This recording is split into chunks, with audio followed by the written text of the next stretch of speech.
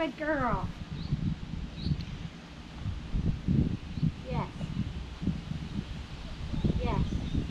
All right, all done. Finished.